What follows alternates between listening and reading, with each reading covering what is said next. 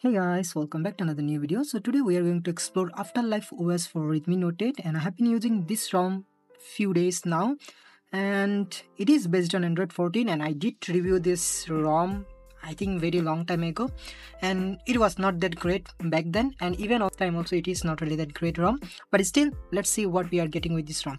So first of all we will check Android version and security patch level as I always do. So as you can see here it is running on Android 14 and other version as you can see here it is 7.2 and it is the official version of Afterlife OS for this device. And the security patch level is 1st October 2024 this one is the latest version of Afterlife OS maybe this is the last build and they're going to release 15 based ROM because most of the ROMs now they are ending the support for Android 14 based and they are like releasing Android 15 based ROM. If you want customization you can go to Afterlabs and tons of customization available and I do really like the way everything looks and I really like the dot here and they looks good. And the setting panel as you can see here it is very much like Android 15 based ROM categorized and everything. In terms of connectivity everything works no issue. I did try SIM card and everything. Everything is working seamless.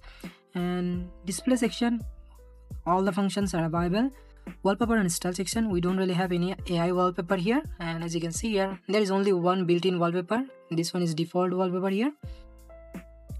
And there are a few other customization introduced in android 14 like customizing the clock and other things. So those are available here.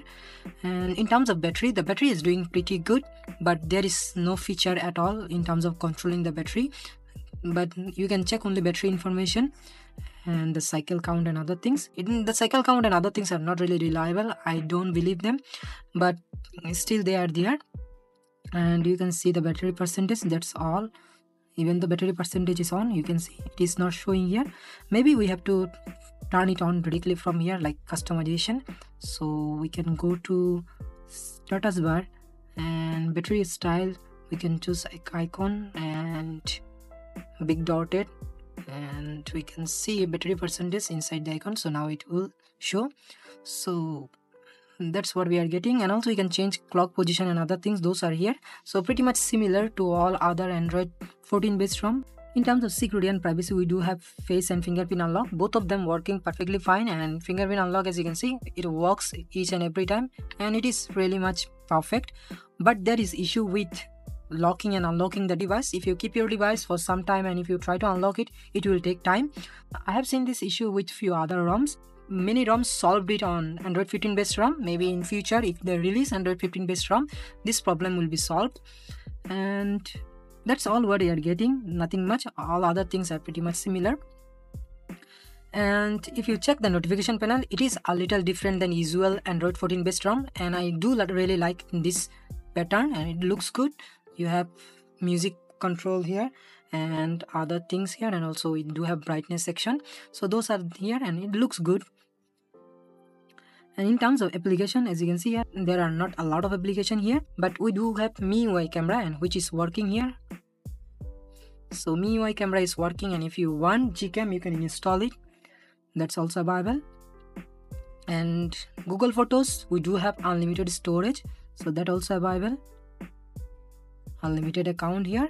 And in terms of safety net so there is no safety net on this ROM. So you cannot really use any kind of bank application. You can use if you fix it but as for default you cannot use. And we don't really have any kind of google play protect certification on this ROM.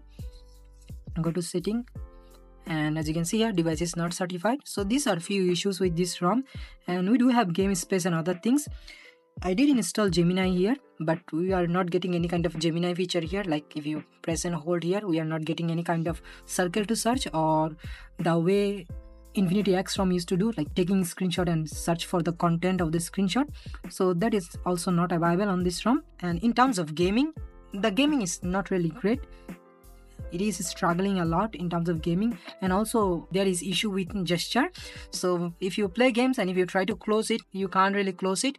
It doesn't allow you to close the game. It's only happen when you are playing games but if you are using other application it doesn't happen and i don't really know why it is happening.